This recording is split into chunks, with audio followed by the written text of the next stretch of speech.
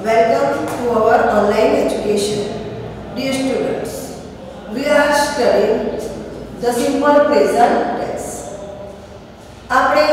લગાયા પીરિયડમાં તમને લોકોને સાદા વર્તમાનકાળ વિશે કેટલીક અહીંયા માહિતી આપવામાં આવેલી હતી એમાં તમને શીખવાડ્યું હતું કે ભાઈ સાદો વર્તમાનકાળ એટલે કે શું તો સાદા વર્તમાનકાળની અંદર રોજિંદી ક્રિયા ટેવવશ થતી ક્રિયા કે પછી સત્ય સનાતન વાત એ બધી શેમાં આવે સાદા વર્તમાન કાળ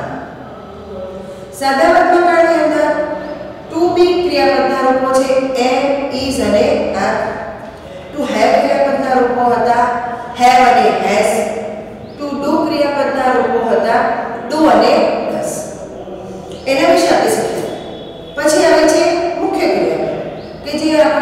ચાલવું દોડવું ખાવું પીવું ઊંઘવું એ જે ક્રિયાવાચક શબ્દ છે એટલે કે એક્શન વર્ડ્સ જે છે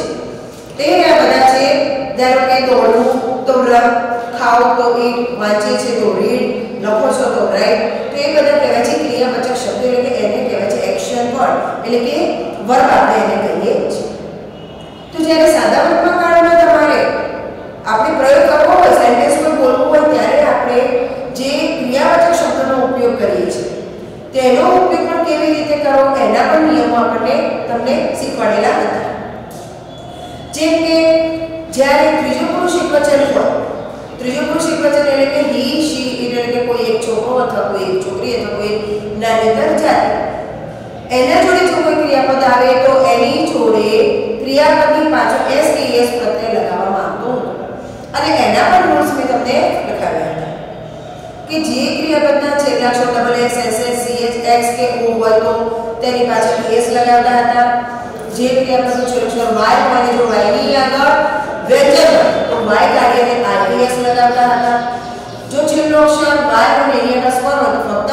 એસ લગાવો આ એના નિયમો છે જો આઈ હોય વી હોય યુ ધે અથવા કોઈ બહુવચન હોય તેમાં કોઈ ફેરફાર કરવાનો હોતો નથી હવે તમને બ્લેન્ક્સ આવે છે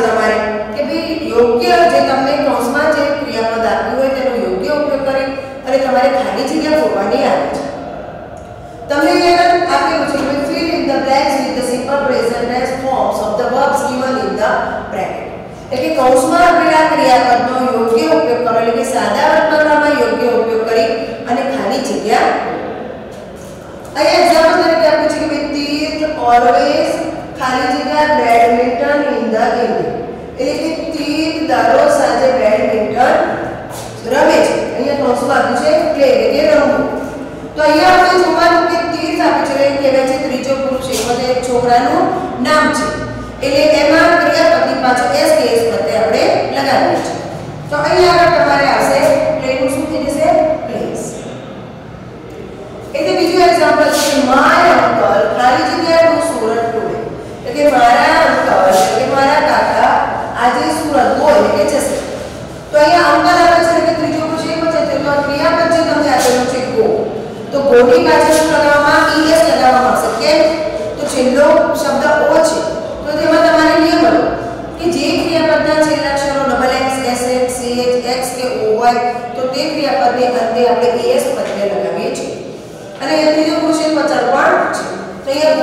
que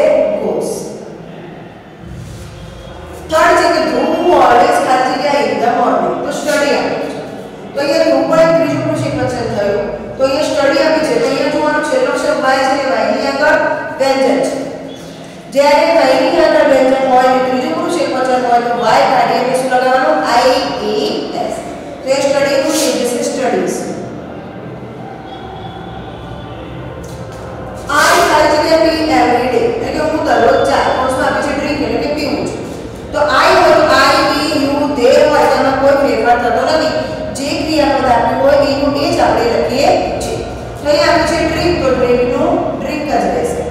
ડ્રિંક એટલે કે પીવું પછી જે યુ ખાલી જગ્યા આ મેગેઝિન એવરી સન્ડે એટલે કે તમે દર રવિવારે મેગેઝિન રીડ એટલે કે વાંચો છો તો યુ આવ્યો યુમાં પણ કોઈ ફેરફાર થતો નથી તો રીડનો રીડ જ રહેશે મિસ્ટર પંડ્યા ખાલી જગ્યા મેથ્સ એવરી ડે એટલે કે મિસ્ટર પંડ્યા ગણિત દરરોજ કઈ આપ્યું છે ટીચ ટીચ એટલે કે ભણાવે છે તો અહીંયા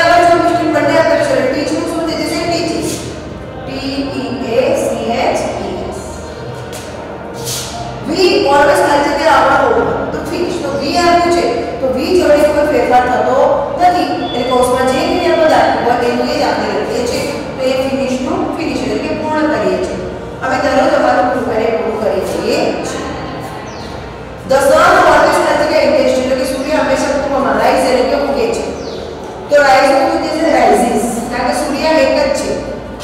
એટલે ક્રિયાપદ જ્યારે એક જ વસ્તુ હોય ત્યારે ક્રિયાપદની પાછળ એસ કે એસ પ્રત્યે આપણે લગાવીએ છીએ હવે નવું કહે યંશ ડઝ નોટ હેઝિટેટ અહીં જો ડઝ નોટ આપેલું છે. એટલે કે વાક્ય ટકા આપેલું છે. એટલે અહીંયા ડઝ આપી દીધેલું છે. એટલે અહીંયા કૌંસમાં જે ક્રિયાપદ આપ્યું હોય તેનું તે જ આપણે લખવાનું હોય છે એટલે ડ્રિંકનું the cow has a milk તો ઘી એટલે ગાય દૂધ આપે છે એ શબ્દ સનાતન વસ્તુ છે તો એ પણ ગાય એક જ છે એટલે ઘીનું શું થઈ જશે gives તો આવી જ રીતે તમારે સાદા વર્ગમાં અંદર જે ખાલી જગ્યા પૂરવાની આવે છે તેની અંદર તમારે ક્રિયાપદ જોવાના આગળ કર્તા તરીકે કોણ છે તે જોવાનું, અને પછી તમારે એમાં બ્લેન્ક્સ હવે એમાં તમારે બીજો ટોપિક પણ આવે છે કે એવી જ રીતે છે કે ફિલ ઇન ધ બ્લેન્ક્સ તો એમાં તમને બ્રેકેટમાં કેટલા વર્ડ્સ આપેલા હશે. અને એનો યુઝ કરી અને તમારે બ્લેન્ક્સ પૂરવાની છે. એમાં આવે જો ઓલવેઝ ઓલવેઝ એટલે કે હંમેશા નેવર એટલે કે કદી નહીં સમટાઈમ્સ એટલે કે કોઈ. અને જોડે જે એક્શન વર્ડ છે એ પણ આપેલા છે. તો એમાં બી લખ્યું છે કે fill in the blanks with the correct bracket એટલે કે કૌંસમાં આપેલા શબ્દોનો યોગ્ય ઉપયોગ કરીને તમે ખાલી જગ્યા તો એ એક્ઝામ્પલ તરીકે આપ્યું છે પહેલા કે બર્ડ્સ ખાલી જગ્યા ખાલી જગ્યા ઇન ધ સ્કાય તો એ જો પહેલા લખ્યું બર્ડ્સ પછી બ્લેન્ક્સ પછી આપ્યું છે ઓલવેઝ અને નેવર પહેલા આખું સેન્ટેન્સ તમારે રીડ કરો અને પછી ડિસાઈડ કરો કે અહીંયા કયો વર્ડ આવશે એટલે પક્ષીઓ હંમેશા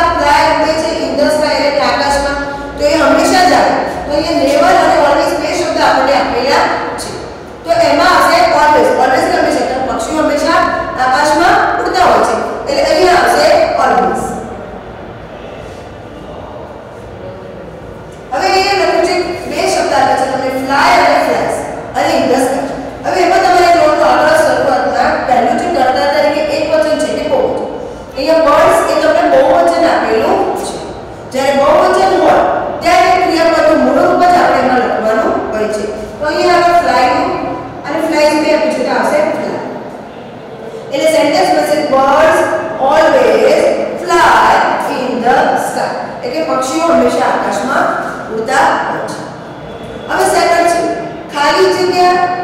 वी खाली जगह और रेनबो ही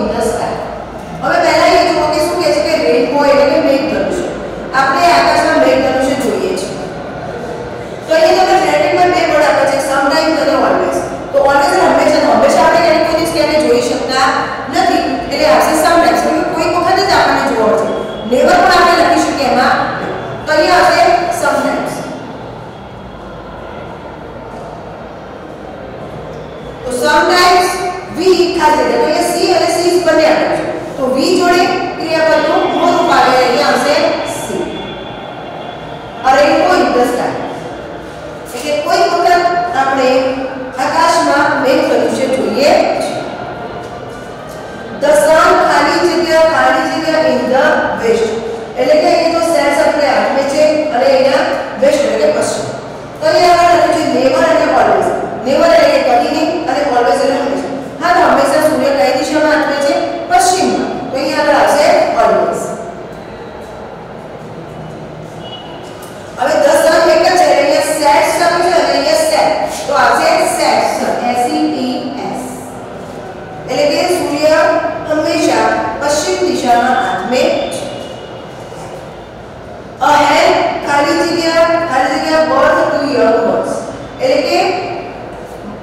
મરઘી હોય છે, એ હંમેશા એમ કે, અહીંયા આપણે છે, હંમેશા ઓલવેઝ એટલે હંમેશા અને નેવર કરી ગીવ એટલે કે અને યંગ વન એટલે કે બચ્ચું. તો મરઘી ઉદ્દેશ બચ્ચાને જન્મ આપતું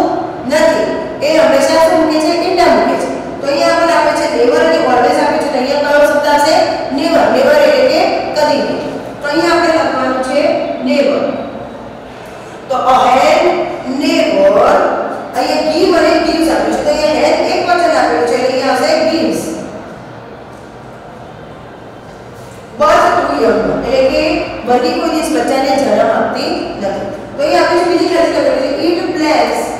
અને ઓલવેઝ અને નેવર ખાલી જગ્યા એ તે હંમેશા મૂકે છે ઇટા મૂકે છે તો અહીં આવશે always